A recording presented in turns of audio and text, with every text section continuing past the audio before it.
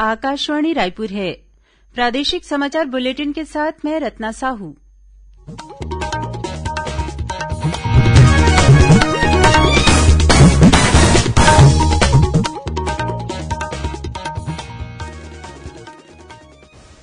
और अब पेश है आज के मुख्य समाचार। कोयला मंत्री प्रहलाद जोशी ने कहा है कि बिजली उत्पादन के लिए देश में कोयले की कोई कमी नहीं। श्री जोशी आज एसईसीएल की कोयला खदानों का निरीक्षण करने बिलासपुर पहुँचे।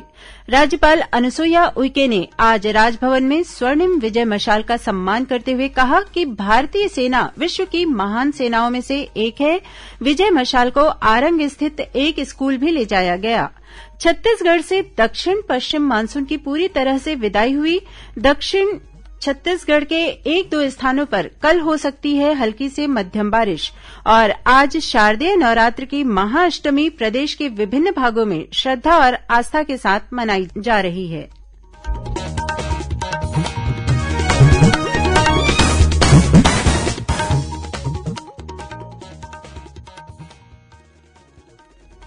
भारत कोविड टीकाकरण अभियान के अंतर्गत सौ करोड़ टीके लगाने का लक्ष्य हासिल करने के निकट है। ऐसे में आकाशवाणी उन सभी चिकित्सकों, नर्सों और अन्य स्वास्थ्य कार्मिकों का अभिनंदन करता है जिन्होंने इस महत्वपूर्ण कार्य में योगदान दिया है। इसके साथ ही हम आप सभी को सतर्क करना चाहते हैं कि कोविड अभी गया नहीं है। हमारी आप सभी से अपील है कि यथाशीघ्र दोनों टीके लगवाएँ और अन्य लोगों को टीके लगवाने के लिए प्रेरित करें। कृपया त्योहारों के समय में इन तीन आसान उपायों का पालन अवश्य करें।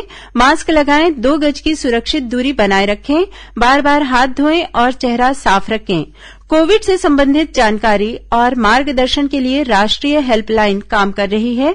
छत्तीसगढ़ के लिए हेल्पलाइन नंबर है एक शून्य चार और शून्य सात सात एक, दो दो, तीन, पाँच, शून्य, नौ, एक। साथ ही राष्ट्रीय हेल्पलाइन नंबर है एक, शून्य, सात, पाँच। और अब समाचार विस्तार से। कोयला मंत्री प्रहलाद जोशी ने कहा है कि बिजली उत्पादन के लिए देश में कोयले की कोई कमी नहीं है। पिछले कुछ दिनों से देश में बिजली संकट और कोयले की कमी को लेकर हो रही चर्चाओं के मद्देनजर कोयला मंत्री ने यह बात कही। श्री जोशी, आज एसईसीएल के अंतर्गत आने वाले कोयला खदानों का निरीक्षण करने छत्तीसगढ़ के बिलासपुर पहुँचे। इस दौरान उन्होंने कहा कि देश में बिजली उत्पादन के लिए जितने कोयले की ज़रूरत है, उतनी ही आपूर्ति लगातार हो रही है। उन्होंने बताया कि बिजली आपूर्ति के परिप्रेक्ष्य में एक दशमलव एक मिलियन टन कोयले की आवश्यकता थी, लेकिन दो मिलियन टन कोयले का उत्पादन किया जा रहा है। यह आंकड़ा दर्शाता है कि देश में बिजली संकट की कोई स्थिति पैदा नहीं हो रही है। श्री जोशी ने कहा कि कोयला उत्पादन में और तेज़ी लाने के उद्देश्य से खदानों का निरीक्षण किया जा रहा है। इसके बाद कोयला मंत्री ने सड़क मार्ग से कोरबा स्थित एससीसीएल के मेगा प्रोजेक्ट दीपका, गेवरा और कुसमुंडा का भी दौरा किया। इसके बाद उन्होंने एससीसीएल के अधिकारियों और कर्मचारियों के साथ समीक्षा बैठक की। बैठक में कोल इंडिया लिमिटेड के चेयरमैन प्रमोद अग्रवाल और एससीसीएल के महाप्रबंधक एपी पंडा भी उपस्थित थे। राज्यपाल अनुसुईया उइके ने आज राजभवन में आयोजित एक कार्यक्रम में स्वर्णिम विजय मशाल का सम्मान किया। कार्यक्रम को संबोधित करते हुए राज्यपाल ने कहा कि भारतीय सेना विश्व की महान सेनाओं में से एक है जिसने अपने इतिहास में अनेक युद्धों की अगुवाई की है और उन्हें सफल अंजाम तक पहुँचाया है। इस अवसर पर राज्यपाल ने वर्ष 1971 के युद्ध के नायकों और शहीद जवानों के परिजनों को स्मृति चिन्ह देकर सम्मानित किया। इस मौके पर पूर्व मुख्यमंत्री डॉक्टर रमन सिंह, सांसद सुनील सोनी और सेना के वरिष्ठ अधिकारी मौजूद थे। गौरतलब है कि वर्ष 1971 के युद्ध में पाकिस्तान पर भारतीय सेना की शानदार और ऐतिहासिक जीत के पचास वर्ष पूरे होने के उपलक्ष्य में इस साल स्वर्णिम विजय वर्ष के रूप में मनाया जा रहा है। इस मौके पर चार स्वर्णिम विजय मशालें इन दिनों देश के विभिन्न स्थानों की यात्रा कर रही है। इन्हीं में से एक विजय मशाल कल छत्तीसगढ़ पहुँची। यह विजय मशाल 19 अक्टूबर तक छत्तीसगढ़ में रहेगी। आज इस स्वर्णिम विजय मशाल को रायपुर के पास आरंग स्थित एक निजी स्कूल ले जाया गया। जहाँ स्कूली छात्र छात्राओं ने इस मशाल का स्वागत किया। इस मौके पर विद्यार्थियों ने देशभक्ति से ओतप्रोत सांस्कृतिक कार्यक्रम भी प्रस्तुत किए। कवर्धा शहर में पिछले दिनों दो गुटों के बीच हुए विवाद के बाद स्थिति अब काफ़ी हद तक सामान्य होने लगी है। जिला कलेक्टर रमेश कुमार शर्मा ने शहर में लगे कर्फ्यू के समय में दो घंटे की और छूट दे दी है, जिससे जिला कलेक्टर रमेश कुमार शर्मा ने शहर में लगे कर्फ्यू के समय में दो घंटे की और छूट दे दी है, जिससे शहरवासियों को राहत मिली है। अब शहर के सभी व्यावसायिक संस्थान, बाज़ार और दुकानें सुबह नौ से शाम पाँच बजे तक खोले जा सकेंगे। पहले यह समय दोपहर तीन बजे तक निर्धारित था। शहर के लोग शाम पाँच से सात बजे तक अपने ज़रूरी कामों के लिए बाहर निकल सकते हैं। इस दौरान उन्हें अपना परिचय पत्र साथ रखना अनिवार्य होगा। साथ शहर की सभी सीमाएँ अभी भी सील हैं। पत्र सूचना कार्यालय पीआईबी रायपुर और अहमदाबाद के संयुक्त तत्वाधान ने आज रायपुर में एक भारत श्रेष्ठ भारत अभियान के तहत छत्तीसगढ़ की जीवंत संस्कृति विषय पर वेबिनार का आयोजन किया गया। इस वेबिनार में छत्तीसगढ़ और गुजरात के मीडियाकर्मी, गैर सरकारी संगठनों के कार्यकर्ता, सांस्कृतिक दलों के लोक कलाकार और महाविद्यालय तथा स्कूली छात्र छात्राएँ शामिल हुए। वेबिनार के मुख्य वक्ता डॉक्टर सुशील त्रिवेदी ने अपने संबोधन में कहा कि छत्तीसगढ़ की संस्कृति बारह हज़ार साल पुरानी है। उन्होंने कहा कि छत्तीसगढ़ कला और संस्कृति का गढ़ है और यहाँ की रंग परंपरा दुनिया में सबसे पुरानी मानी जाती है। वेबिनार में पीआईबी अहमदाबाद के अपर महानिदेशक धीरज कांकड़िया पीआईबी रायपुर के अपर महानिदेशक अभिषेक दयाल और सहायक निदेशक सुनील कुमार तिवारी शामिल हुए। प्रादेशिक समाचार आप आकाशवाणी रायपुर से सुन रहे हैं और अब आगे बढ़ते हैं बाकी के समाचारों की ओर। छत्तीसगढ़ से दक्षिण पश्चिम मानसून की पूरी तरह से विदाई हो गई है। मौसम विज्ञानी एचपी चंद्रा ने बताया कि तेरह अक्टूबर को प्रदेश के सभी जिलों से, यानी कि पूर्ण रूप से, मानसून की विदाई हो गई है। मानसून सीज़न में लगभग अंठानवे प्रतिशत वर्षा दर्ज किया गया है, जो लगभग 1100 मिलीमीटर के आसपास है, जो 1141 मिलीमीटर के अगेंस्ट है। इस तरह इस मानसून सीज़न की विदाई हो चुकी है। मौसम विभाग से मिली जानकारी के अनुसार एक ऊपरी हवा का चक्रवाती घेरा पूर्व मध्य बंगाल की खाड़ी और उसके आसपास स्थित है। इसके प्रभाव से अगले 24 घंटे में कम दबाव का एक क्षेत्र पूर्व मध्य बंगाल की खाड़ी और उसके आसपास बनने की संभावना है।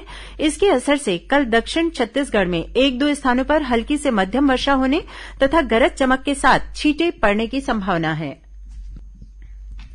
आज शारदेय नवरात्र की महाअष्टमी प्रदेश के विभिन्न भागों में श्रद्धा और आस्था के साथ मनाई जा रही है। आज के दिन महागौरी के रूप में शक्ति की उपासना की जाती है।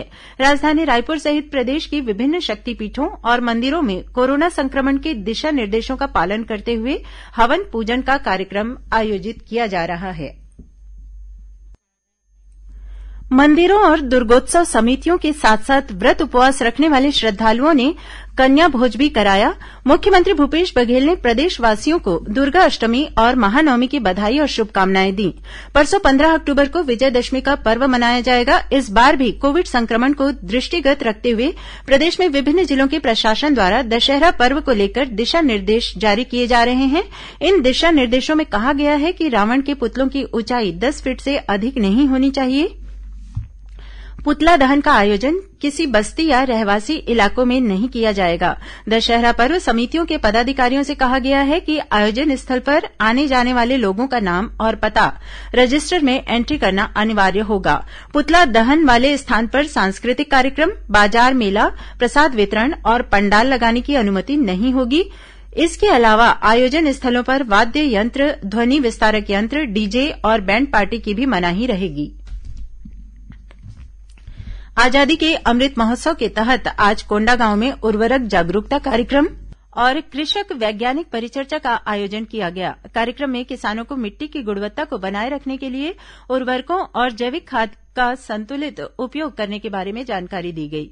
साथ ही केचुआ खाद के उत्पादन को बढ़ावा देने पर भी ज़ोर दिया गया। दुर्ग शहर में एक बैंक कैशियर से दिन दहाड़े पंद्रह लाख रुपये की लूट का मामला सामने आया है।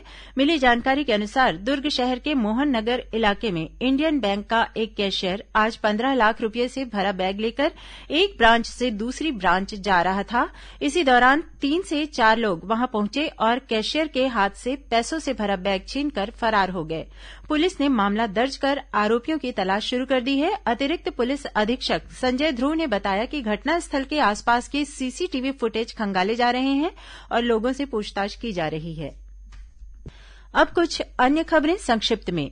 राष्ट्रव्यापी कोविड टीकाकरण अभियान के अंतर्गत अब तक देशभर में छियानवे करोड़ तैंतालीस लाख से अधिक कोविड रोधी टीके लगाए जा चुके हैं। केंद्रीय स्वास्थ्य मंत्रालय ने बताया कि कल पचास लाख तिरसठ हज़ार से अधिक टीके लगाए गए। बस्तर दशहरा के तहत आज जगदलपुर में निशा यात्रा विधान संपन्न किया जाएगा। इस विधान के तहत मावली मंदिर के राउतों द्वारा भोग सामग्री को इतवारी बाज़ार स्थित निशागुड़ी में पहुँचाया जाएगा, जहाँ दंतेश्वरी मंदिर के पुजारी द्वारा पूजा आराधना की जाएगी। पांचवीं अनुसूची अधिकार के हनन सहित विभिन्न मांगों को लेकर बस्तर के तीन सौ से ज़्यादा आदिवासियों ने राजभवन में राज्यपाल अनुसुईया उइके से मुलाकात की। इस दौरान राज्यपाल ने उन्हें हर संभव मदद का भरोसा दिलाया। मुख्यमंत्री भूपेश बघेल ने आज दुर्ग ज़िले के पाटन में करीब सात करोड़ रुपये की लागत से निर्मित विभिन्न भवनों का लोकार्पण किया। इनमें विश्राम भवन और जनपद पंचायत भवन भी शामिल है। राज्य खेल अकादमी के लिए चयन ट्रायल संपन्न हो गया है। इसमें राज्य के विभिन्न जिलों से आए करीब सात सौ खिलाड़ियों ने भाग लिया। अंबिकापुर में आज कोतवाली पुलिस ने नशीले पदार्थों के साथ एक महिला सहित तीन आरोपियों को गिरफ़्तार किया है।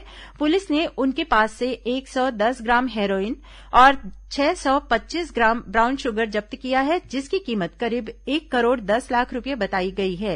राजनांदगांव जिला प्रशासन ने ईद उल फितर के मद्देनजर उन्नीस अक्टूबर तक ज़िले में जुलूस और रैली पर रोक लगा दी है और कांकेर ज़िले के अंतागढ़ की उप तहसील आमाबेड़ा के अंतर्गत करीब नब्बे गाँवों के ग्रामीणों ने आज अपनी विभिन्न मांगों को लेकर प्रदर्शन किया। अंत में मुख्य समाचार एक बार फिर।